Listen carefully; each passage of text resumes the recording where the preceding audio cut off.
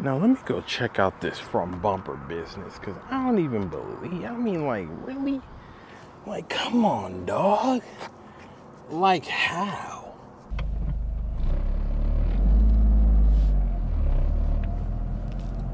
Yeah, yeah, yeah. I'm back again. It's me. I'm back. Oh, dang. Hold up. I'm gonna get back in my get back in my angle. Hold up. I'm gonna get my camera straight. How we doing? Okay, okay. Hello. Hola, ¿cómo estás?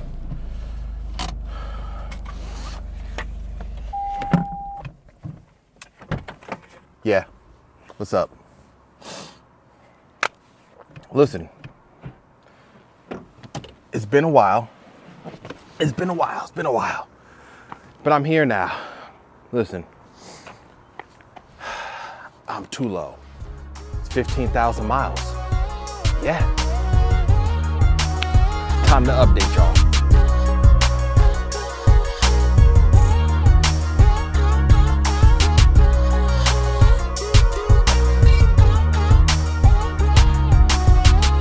All right, so while I did park in the shade, it's a bit, it's a bit hot out here, man. What can I say? At least the sun isn't beaming, but yo, I'm here. Might be a little bit of an echo because I'm in between two warehouse buildings, but you know, it's the quiet spot. There's the car. 15,000 miles. That's what we're here to talk about. Now, anybody that's been on my channel, seen the video, I did 2,000, I did 9,000.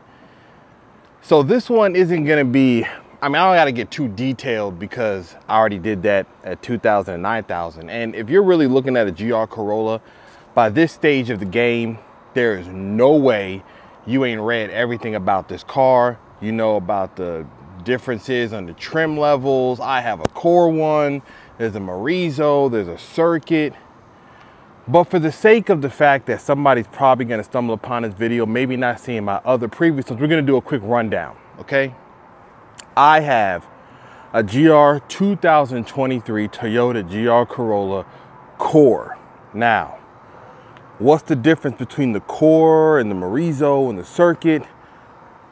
Let's just show the differences. The Circuit Edition one will have gloss black on this rear diffuser. It'll have a spoiler on the back that's gloss black. It'll have a forged carbon roof. It'll have the same wheels, It'll have a different hood with vents on it that bulges up. And on the front grille, it'll have gloss black. That is the main differences on the outside. On the interior, here's what you're gonna have. gonna open mine. Interior wise, seats look the same, but the material on the center is like Alcantara. There is more red, there's red stitch leather on the front part of this door card, more soft touch on the armrest there.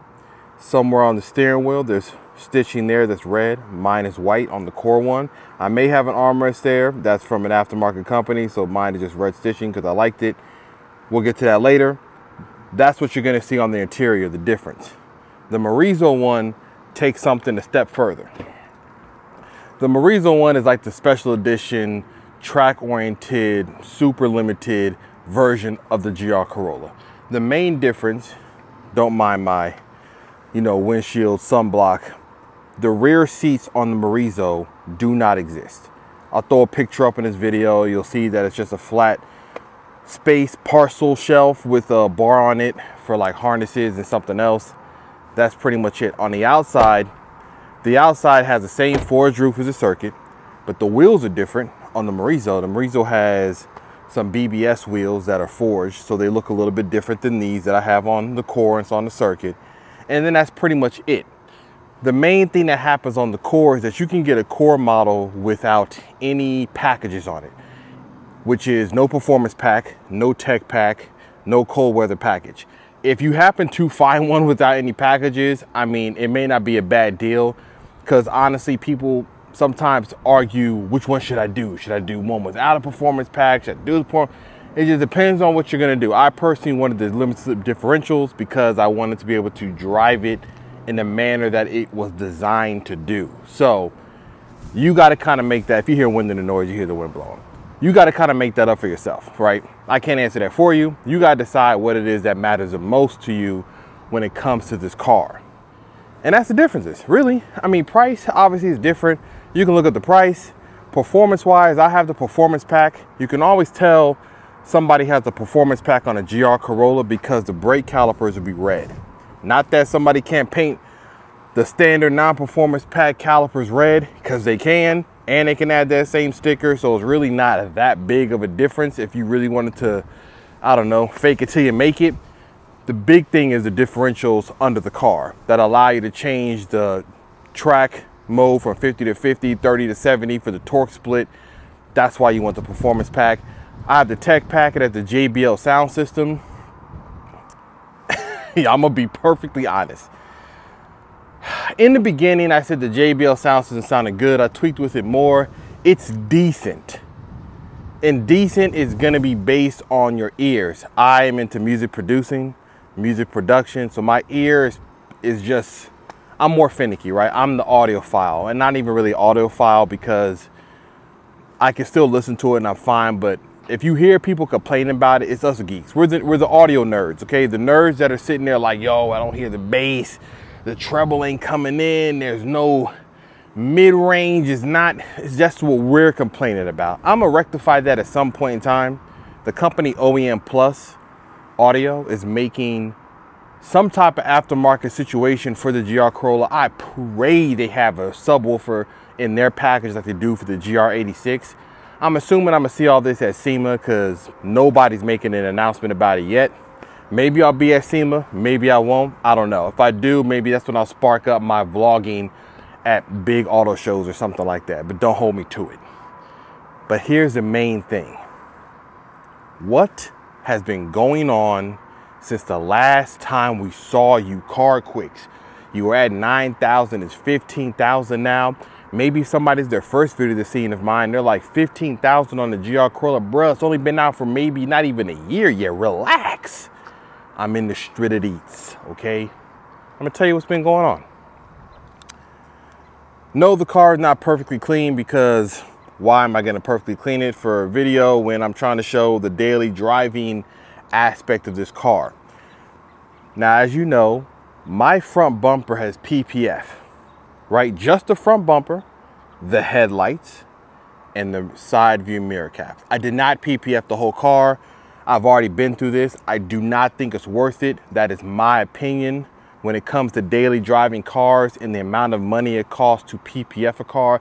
It's like a screen protector. You do have to change it eventually at some point. You're talking about four to five grand to put plastic on the car. Listen, man, I'll touch up paint it before I'm dropping five grand to put plastic all over a car.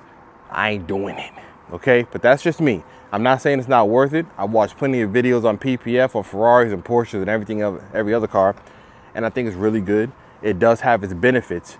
In the hard hitting spots, front bumper, headlight, side view mirror caps, there is a benefit to having there.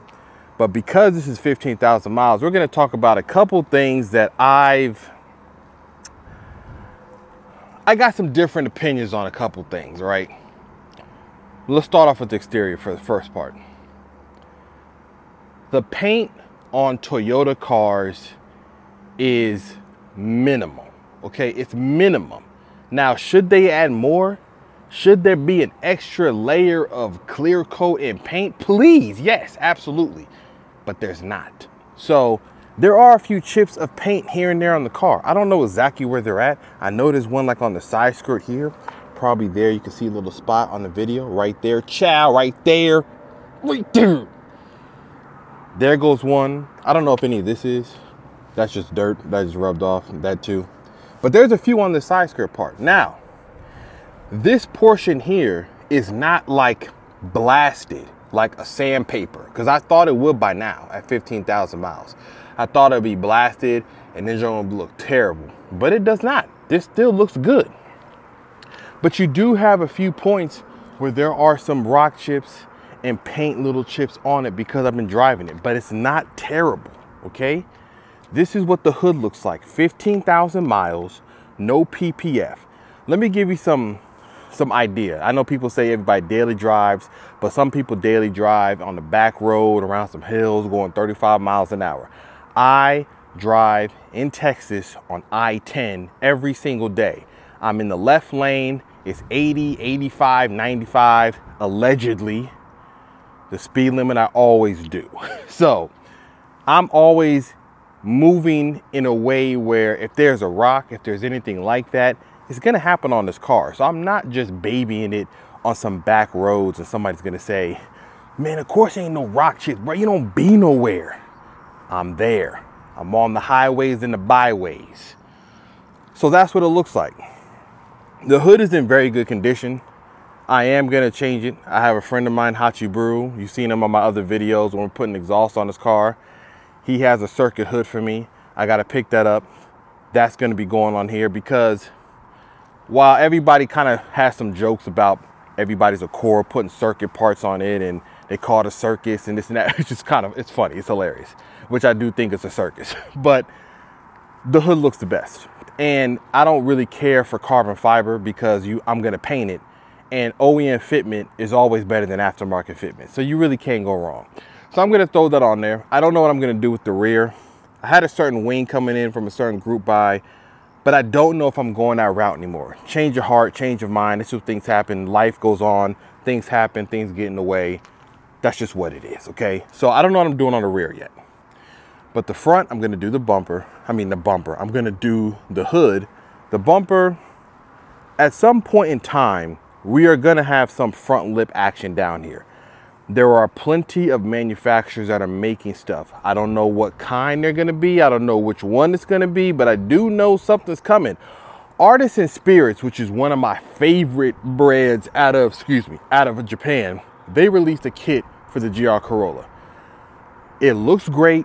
It costs what it costs because it's Artisan Spirits. It's from Japan and freight and distribution. It ain't cheap. If you want the all carbon kit for this car, it's eight grand. That's ridiculous. The FRP one is something like 4,000, which some people like, you ain't paying that much for plastic and polyurethane, which, I mean, okay, but listen, the world's changed. People got to make profit too. These companies you want around and making parts for us, they got to turn a profit somehow. There's people working for them. So I'm not really against the cost necessarily. It ain't the cheapest thing, but if I was to do the artisan spirits on the GR Corolla, I would probably do just a front lip and the side skirts. And I love the way their mid wing looks. And then I'll find other pieces for the diffuser and everything else. But back to the car and what it looks like. Here's the front grille. Right now, the front grille's a dirty mess, but it's not destroyed. It's not, there isn't like chips on the fog lights. There isn't like marks on the grill itself. And surprisingly, surprisingly, I want you to look at the intercooler. It's not bad. I'm not saying it's perfect. I'm not saying there aren't some fins that are dented from whatever's flying through there or a moth or a bug or a fly because if you notice, our grill doesn't have like any mesh that's gonna stop something pretty large to cut through there. So all things withstanding, we ain't looking bad, okay? Now later on, maybe I upgrade the intercooler when I get down the path of aftermarket parts and things like that. But as we stand now, and as we look at the car, we are in decent good. We are in good condition. Not even decent. We are good. This is what it looks like. 15,000 miles. Toyota emblem. That is where the radar sensors are. That's the condition it's in. Headlights, bumper. I mean, listen, this could be in much worse condition but it's not. Even the fitment on it, things like that, everything feels good. Now I'm looking at something here right now as I'm talking, and I don't know if that's.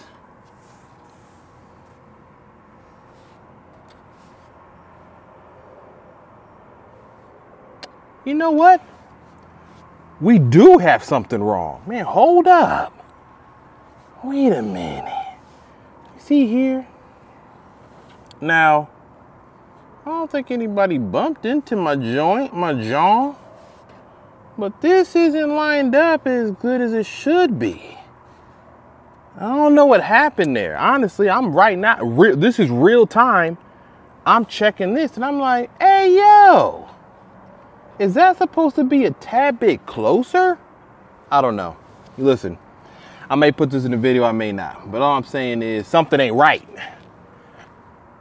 But from a distance, you can't tell. So I don't really know what could have happened or what could not have happened. But we'll find out later. I'm going to check into it later. That's the whole front end of the car. Now, off to the sides and everything. Now, I'll, I'll be perfectly honest here. the brake dust situation has not been rectified. I know folks are going to say, yo, ceramic coat. I did. They're to say, yo, use the what? I did. They're to say, yo, I did it. I did it. The brake dust is stupendously wild, okay? So there's no hope for that.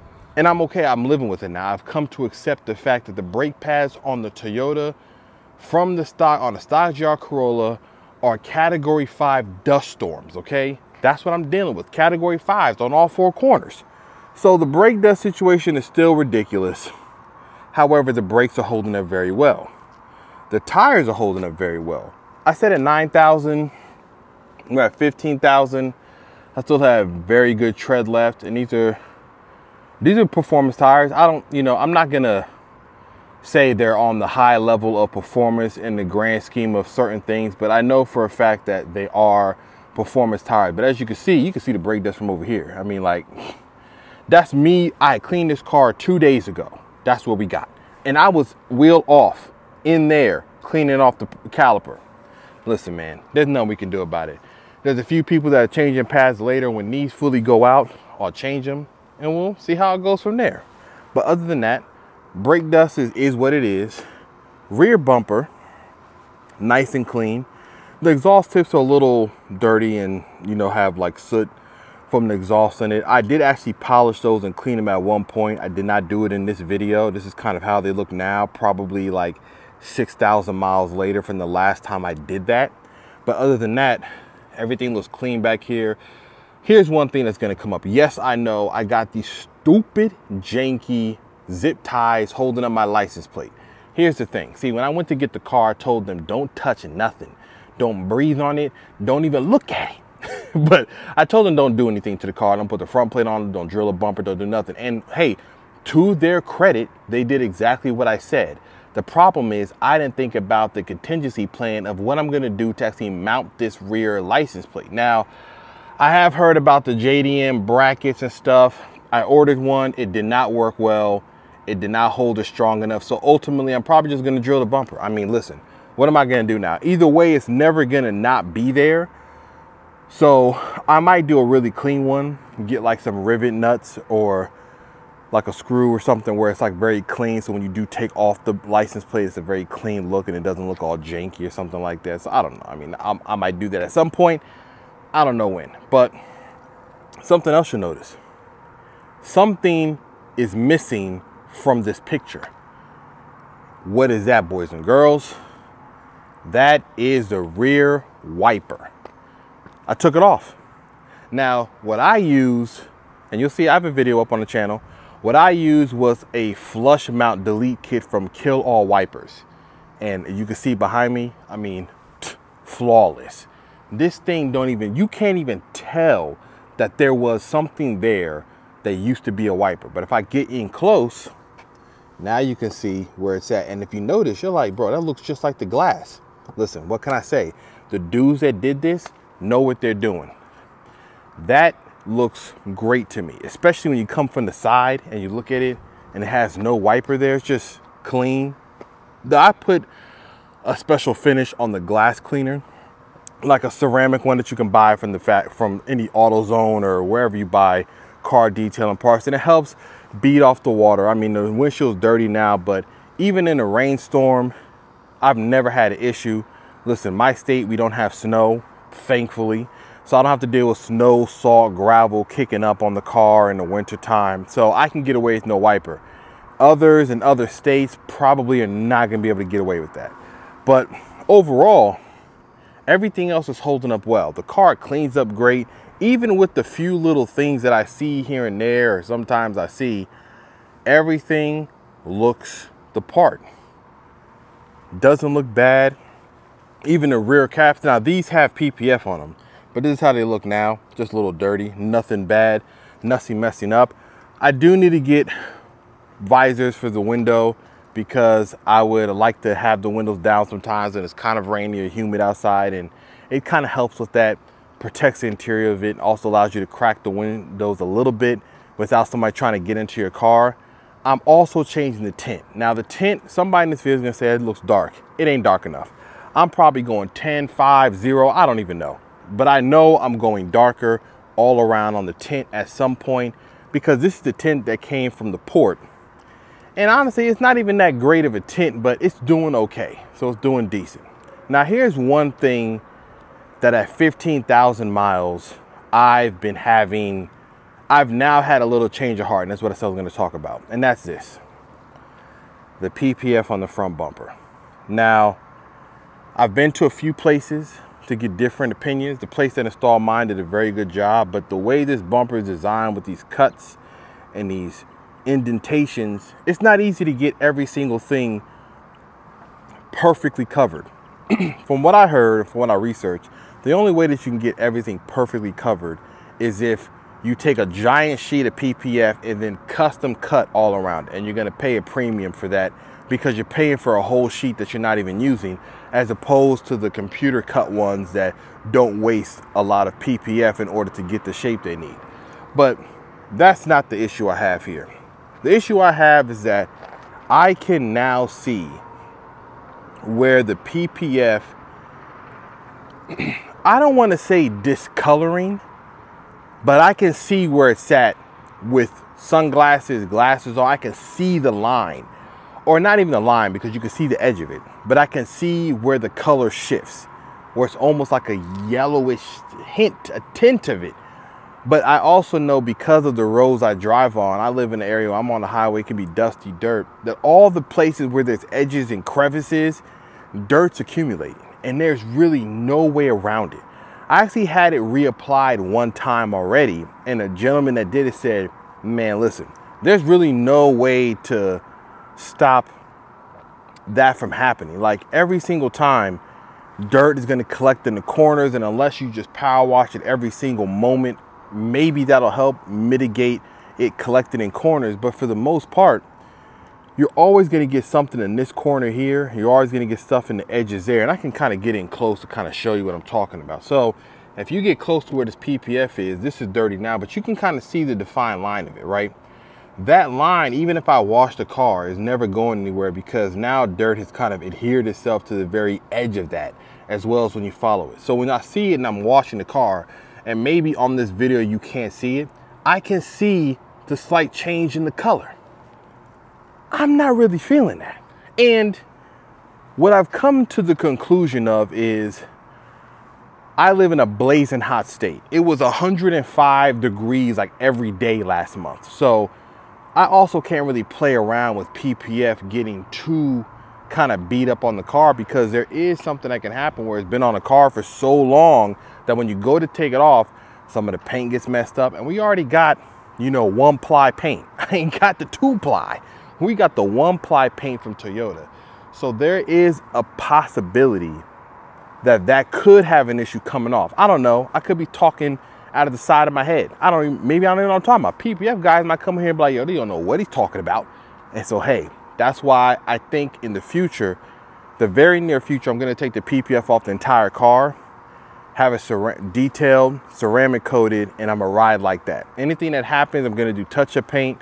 I'm gonna do basically touch-up paint. I mean, that's really the only thing you can do. Here's something else that happens, right? So 15,000 miles, everything looks great that you can see here, but here's one thing I have had happen. So if you look here inside of the cup for the door, you'll notice like scratches and dirt accumulating there. Now, here's what's funny Clearly this was from before because I don't have the habit of like scratching in here to try to open the door. I'm literally like this and I open the door, right? And the same thing for the rear because nobody comes back here. Even when my kids occasionally come, it's not that, you know, crazy when it comes to the door cup. So one of the things that I'm gonna do when it comes to the full detail is getting this all corrected, getting the whole entire car corrected because I never actually had the entire, I had the car detailed really well, but I've never done a paint correction. I never did a full polish.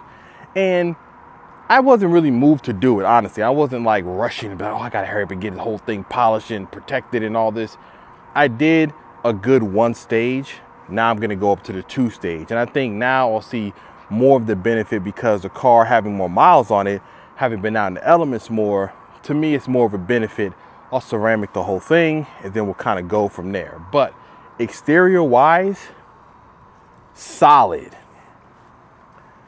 I really have no complaints. Those small things are like nitpicky. I mean, aside from the grill situation that I think I noticed today. But everything else, there's no dents. I got no dings. I park 900 miles away from everybody. I don't want a soul near me. Okay. So I make sure I'm far away so that nobody comes near me. Now let's get into let's get into the next phase. Like let's talk about the interior, right?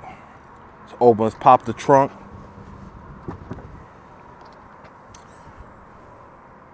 Modification. See, I got the rear strut bar from TB Performance.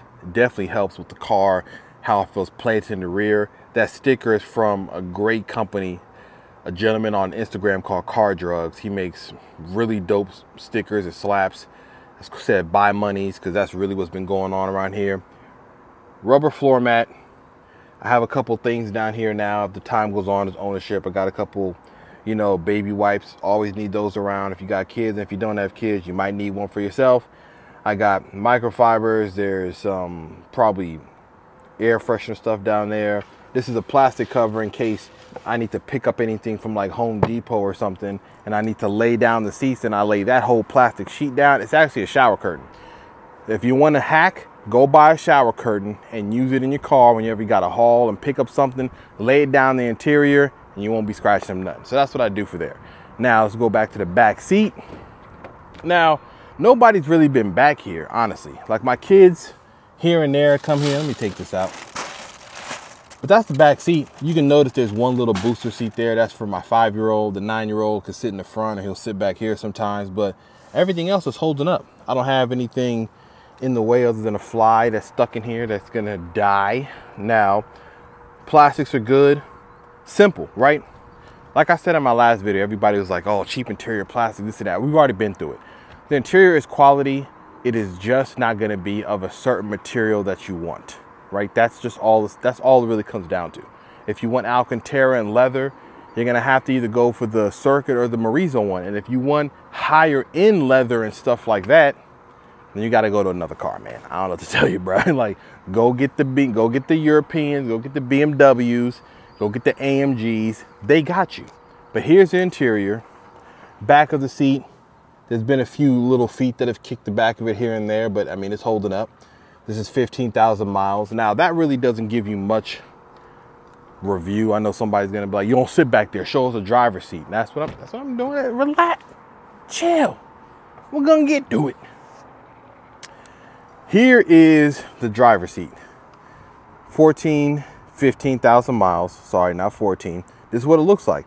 I daily drive it. What's the side bolster look like? You got a couple creases right here. Now, I don't have like a crushed side bolster because I don't sit in my seat like a Neanderthal. Okay, just sitting on the side bolster.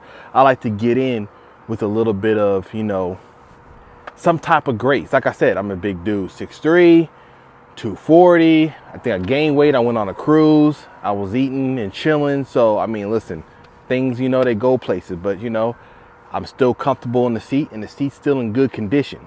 Same with the door. Door card. Now, this part right here is a little dirty. I need to clean it, but for the most part, I usually clean that with a brush and a microfiber cleans that up.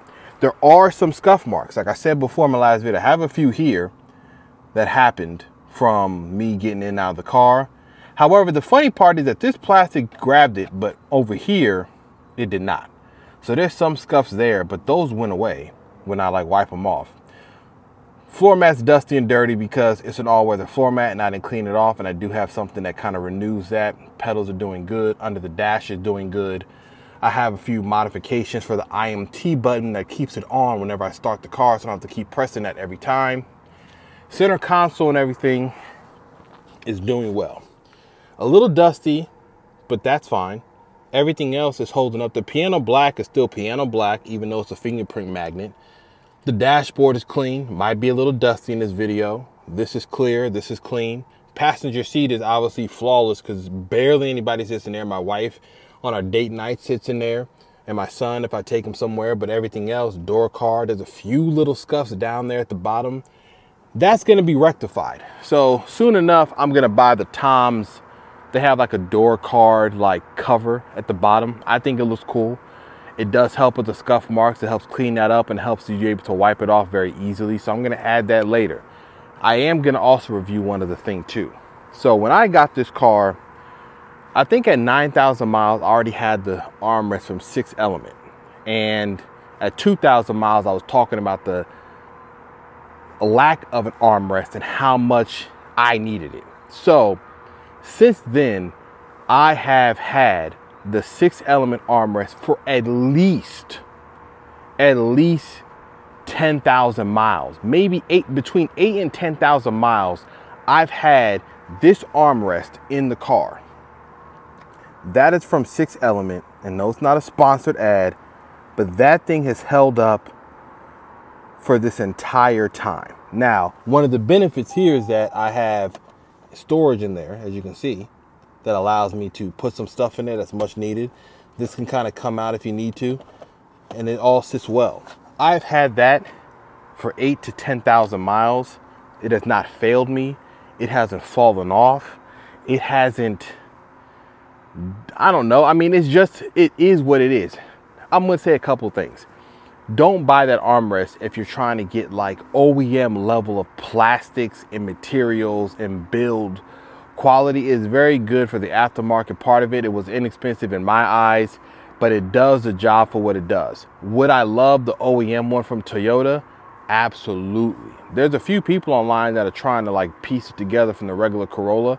I would love that instead. But this is what we got. And so far, it's been working well. Now, when I first did get this, I was like, I'm to add more red stitching inside the car. I've since changed my mind. I actually like the white stitching. I like the understated look. And I'm to kind of play into that and kind of almost get black seats and kind of make it a darker interior.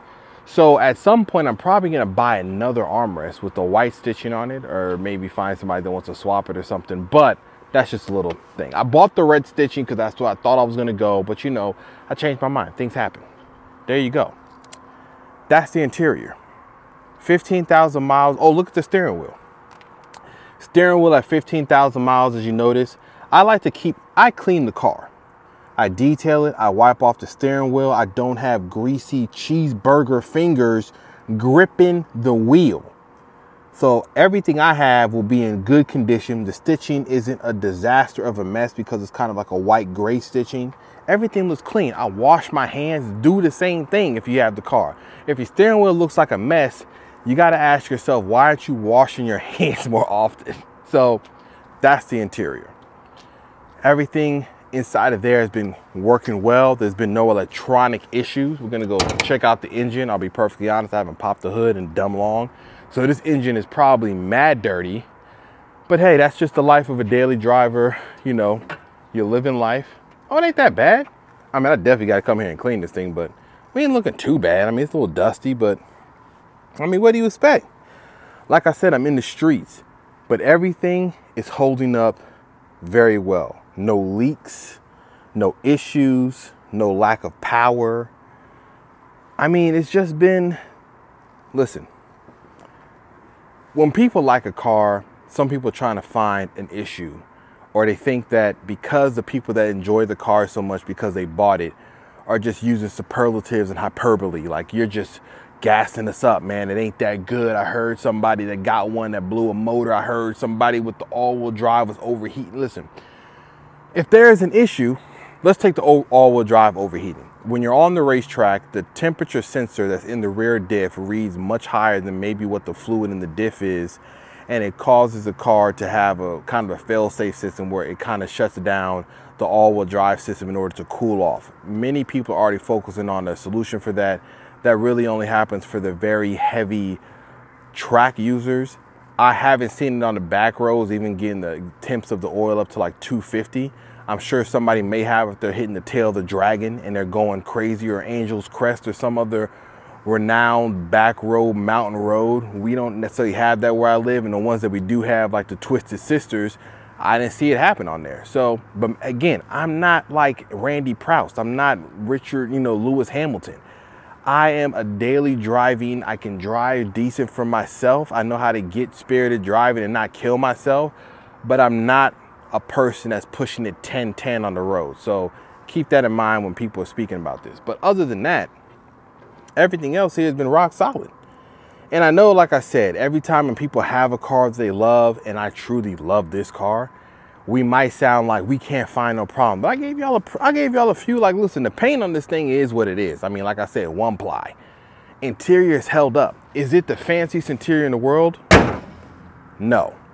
Are you gonna have deviated stitching and diamond stitching and you know starlight in the headliner no you can add all that if you want to but as i said before as the car has been in my ownership for 15,000 miles it has not failed me yet there hasn't been any issues there haven't been any concerns no check engine lights because i don't have an aftermarket intake that costs $1600 um everything has been great. I I can't complain.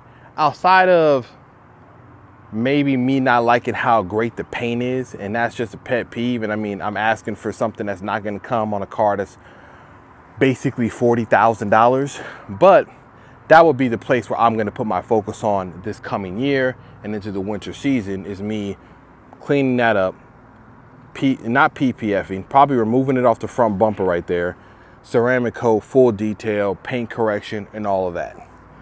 But how it drives, how it performs. Now, I did mention about the radio.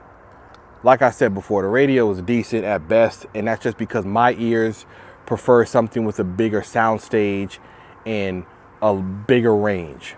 We're gonna rectify that soon. If OEM Plus Audio releases something with a subwoofer we're all done. I'm probably gonna buy that and be out of here. If they don't, I'm gonna have to go to the aftermarket and go to a stereo spot out here and get jiggy with it. you know, I'm just gonna have to go find a sub, find a place to put it, put one in the back, but I need some more range. I need some more bass. I need some more and I need it all.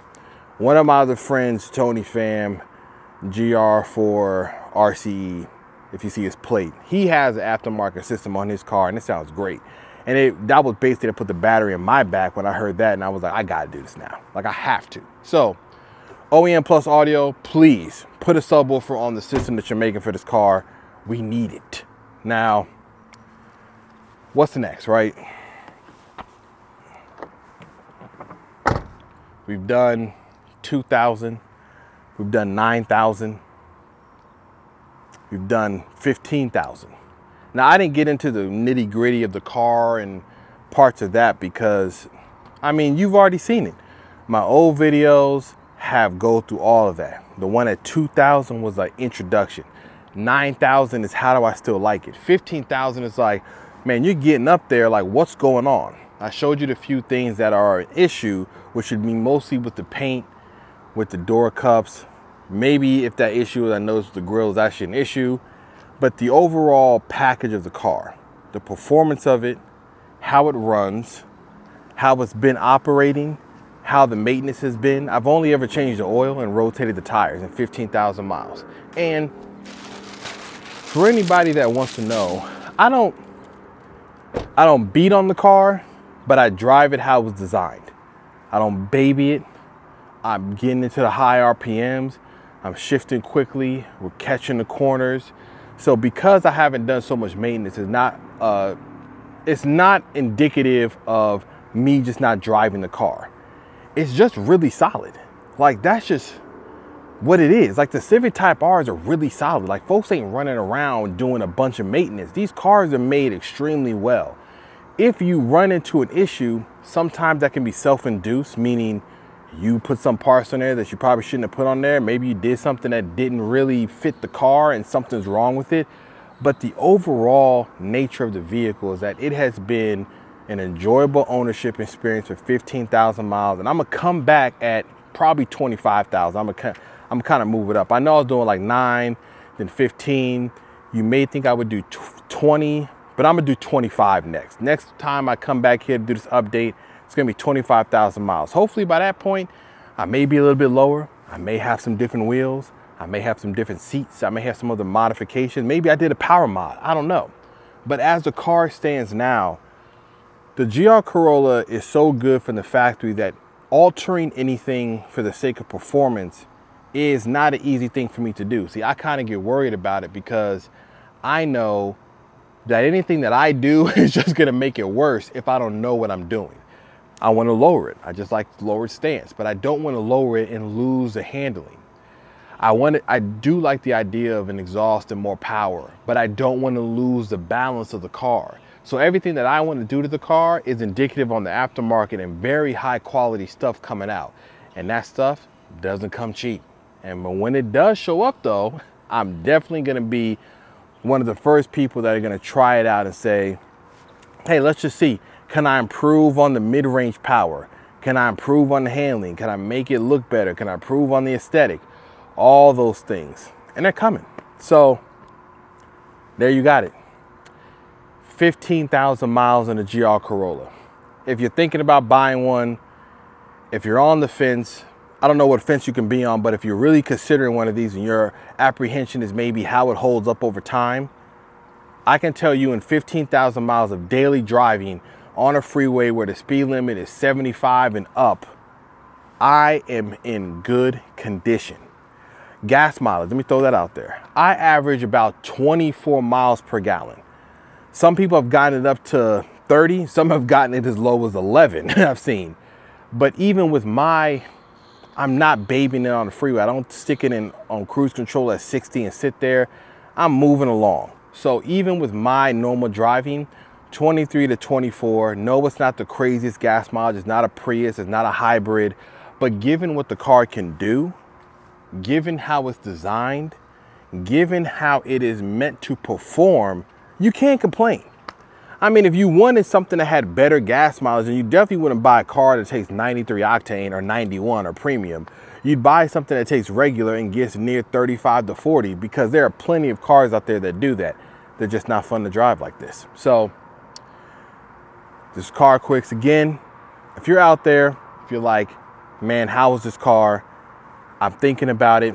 Look at all my videos in this series from 2000 to 9000 to 15,000.